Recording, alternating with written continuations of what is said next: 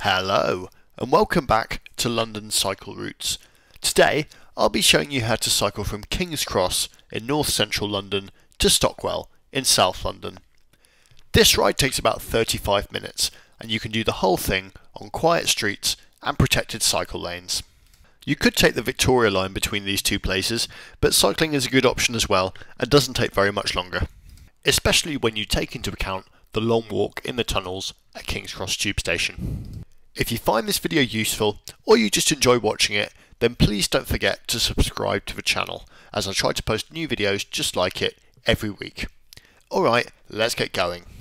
So we're starting on the Midland Road side of St Pancras Station and the first stretch of the journey is here in this uh, lane that's shared with taxis. Fortunately the taxis are mostly stationary so you don't have to worry. On the right there's the British Library. That's the UK's copyright library. It has copies of every book produced in the United Kingdom and also Ireland interestingly. Um, and there you can find the Magna Carta, handwritten Beatles lyrics, um, basically everything. Um, we're just crossing Euston Road now and we did that on a green light there. There was a separate signal for us. The cars had a red light and we had a, a green light, which is nice because it means that there won't be cars turning across us and it's all perfectly safe. Judd Street is a great way to get out of King's Cross and sort of head into central London.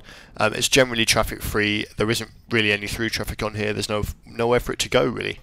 Um, in a second, we're going to be turning right down Leigh Street, which is where those guys in front of us are indicating. In previous videos using this street I've actually continued straight on and turned right later, but a viewer helpfully pointed out that it's actually a banned turn even for cycles to turn right onto Tavistock Place. So we're going down Leigh Street here, we turn left onto Marchmont Street and then we go right here to join the cycle lanes. And this is actually I think a nicer way to do it. The turn's a little bit less hairy and it is also crucially legal, which is a bonus. We, uh, we turn right here onto Tavistock Place and this has some really nice semi-protected cycle tracks. Uh, for a while in previous videos where I use this, these little uh, armadillos have been taken out, those little plastic things that protect us from the traffic or divide us from the traffic. They're, they're not that protective, but they're definitely reassuring to have there. They've been put back in now, which is nice. I think they were taken back for taken out briefly for uh, a bit of construction work, and it is good to see them return. Um, this lane's sort of cobbled together, various different styles. You can see on the right there, there's more of a curb protection. On this side you get armadillos. It's generally a really nice ride though. Nice and wide. And as you can see, we had no problem overtaking two cyclists who were riding two abreast, which is why you want to have uh, wide lanes like this. First, so you can ride two abreast in the first place, which is nice. And second, so you can overtake people who are riding two abreast, which is also very handy, especially if you're in a hurry and they're not. We wait at the lights here and we turn left onto Gower Street, the home of University College London, uh, a relatively well-known university. And uh, we have stepped cycle tracks here, so there's a sort of curb there protect, uh, protecting us from the rest of the street. The, the curb actually gives up quite a lot here. There's just a painted lane and then it goes back to a curb. I do wonder whether we could have any of those armadillos that we uh, had on that previous lane, maybe dotted along the uh, the dotted lines here I don't really see why you wouldn't be able to have it here. While we're riding down this street, it is worth admiring the uh, the Georgian architecture of the buildings, and you can one easy way to tell whether something's Georgian or Victorian is to look at the doors, and they've got that little semicircle above the doors, and that's called a fan light, and it's uh, there to sort of light the entranceway uh, to allow light in. That's very very common in uh, Georgian buildings, but less common in Victorian, so it's usually a pretty good giveaway which era that's from. Victorian buildings also tend to have a lot more ornamentation on them uh, generally than Georgian buildings. So, for instance, uh, you can see on the right there that red brick uh, one, and also dead ahead of us, that looks uh, a lot more Victorian than Georgian. Now, um, for some reason, this road was sort of closed. Um, I'm not really sure why those barriers were there, um, but uh, that's how you do that junction. It's a little bit counterintuitive, um, so hopefully that video has sorted you out. And you head down Endell Street. Now, um, actually, there was a on the on the quiet. There was actually a traffic management scheme put in on these streets um, a couple of months ago and as a result, Endell Street is extremely quiet. You can see we didn't run into any traffic. But as we cross the borough border into Westminster, into uh, into Bow Street, it does get a little bit more busy. Um, this traffic light is temporary, by the way, just because the road works when this was filmed. So hopefully that won't be there when you come down here. Um, but yeah, you can see there's a little bit more traffic on here. It's basically okay now, and it is only a short bit of the ride. Sometimes at theatre chucking out time or just before theatre, this road can get very busy. And as far as I can tell, having ridden up and down it a lot, it's actually interestingly because of the zebra crossing. So there's one we went over just there, and then one a few meters back. And uh, basically, those zebra crossings at theatre time are constantly in use, so people are constantly crossing the road. So even if there's not very much traffic, it basically gets backed up. Obviously, I'm not saying get rid of the zebras; they're great. Um, but it's just something to be aware of. Um, it would definitely be better to uh, to remove the rest of the through traffic from that area because it doesn't seem like there's any reason for it. Um, now you waited at that light here, and we come out, and if you're you see there's two sets of traffic lights here. Um, that we've just gone through. Don't be tempted to skip those. Don't worry, they are actually synced up. So if the first one goes green, you'll get a green on the second one too. So there's no point in jumping ahead of the first one. Now we, uh, the light that we just went through, we were very lucky to get a green because you can have a very long wait on there. And we go down to the embankment. And if you've ever cycled in London, you'll know that the embankment is probably the best cycleway in London. It's really, really great. Uh, very nice and wide, runs directly along the River Thames. And of course, you can see the London Eye, the uh, the big wheel on the left there. If you don't know London too well, you might not know the name of the bridge that we're about to go under, and that's because um, you can't actually drive over it, so it's not a particularly common bridge. It's a railway bridge called Hungerford Bridge, and it also has the Jubilee bridges either side of it, so those are pedestrian walkway bridges. Unfortunately, you can't cycle on them. Um, whenever I go uh, go down this bit, I always, for good reason, mention that you should be very, very careful cycling down here, and that's because uh, with this work for the Thames Tideway Tunnel, uh, which is a, new sewer. You can just see here there is not a pavement, and uh, people tend to walk out on of the pavement onto the cycle path, and they'll walk down it. And there's also a blind corner, so really it's a recipe for disaster. So yeah, do be very careful here. Um, I'm just going to improve the weather here. I, it's a little bit too cloudy for my liking, so um, there we go. Um, if you were wondering what happened there, that was because I uh, I ini initially cycled this entire route, but unfortunately, when I got to Westminster Bridge, which we're coming up to now, it was actually shut. So I've come back when it's open, and uh, the weather's also a little bit better, and there's also a few more people out on bikes. Um, Westminster Bridge is an interesting one, so it's just got new protected cycle lanes. In the opposite direction, it's fantastic, that's on the other side of the road. On this side of the road, unfortunately, you'll see there are some problems. So we're just next to Big Ben, and that's a very popular tourist uh, spot, and people love taking photos of Big Ben, and they love taking photos of, themselves next to Big Ben, and they uh, like to, you know, block the pavement. Um, me and these two guys on bikes ahead of us are ringing our bells pretty much constantly and people aren't getting out of the way. Um, the guys in front are also shouting, this is a cycle lane, this is a cycle lane, but still people aren't getting out of the way. Um, and also here, an ice cream van is loading, is enticing people to walk across the cycle lane. Um, that lane can get very, very busy at commuter times, and unfortunately, um, the current situation is very dangerous.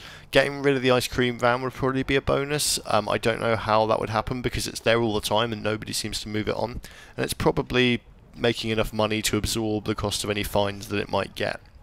Um, but to be honest, it probably would have been better to have a two a two direction uh, lane on the other side of the bridge. Or frankly, if you look back, there was basically no motor traffic on the bridge at all, so the best thing to do might be to double the size of the pavement and just move the cycle lane over into the road. Unfortunately, there's basically no sign of that happening anytime soon because those lanes were just finished after a lot of wrangling. Um, and I know people work very, very hard to get them done, so I hate to criticise them, but yeah, when there's a lot of tourists out, that is an issue, unfortunately. Now we're going under the railway here. You could either go straight on here if you like, or you can do what I've done and uh, go down Carlisle Lane for a little bit and take Virgil Street. Um, it's uh, they're both pretty much the same. They're both uh, tunnels with very little traffic in them, and they both put you out onto Hercules Road. Very classical themed names around here. Um, this lovely bollard um, arrangement coming up uh, that we've just gone through is uh, keeping the whole street quiet. So it's uh, really uh, really quite pleasant. And uh, we're coming up here and uh, make sure you look at the bike lights uh, which are just down here. They'll go green before the main light and uh, we get a little bit of a head start over the other traffic. Not that we really need it because there isn't really any other traffic because of that bollard. Um, you go down this slightly superfluous um, bi-directional cycle track and do be quiet down here because there is a little bit of uh, light industry like Pimlico plumbers are based there. Um, and lots of vans coming and going during work hours. So it is worth uh, keeping an eye out there and uh, just making sure. Um, don't whiz right over that uh, over that road that we just went over. By the way, as you go into Newport Street, which has yet more vans, um, because traffic could be whizzing down there. So you want to look before you cross the road. It'd be nice to have a sort of uh, zebra, uh, cycle zebra parallel crossing arrangement there. Um, so we're going to do something a little bit different today. Um, often I take uh, Cycleway 5, which is where that delivery rider went, but I'm actually going to turn left onto Black Prince Road. Um, this road is surprisingly quiet. It doesn't really have any uh, business being as quiet as it is. There's not really an obvious reason why it's quiet. It's not filtered, but uh, I often commute down here, and it is, uh, yeah, it's always like this. There's very little traffic on it turn right onto Vauxhall Street and again this road is also very very quiet. It also has a lovely high street. I really really like this high street.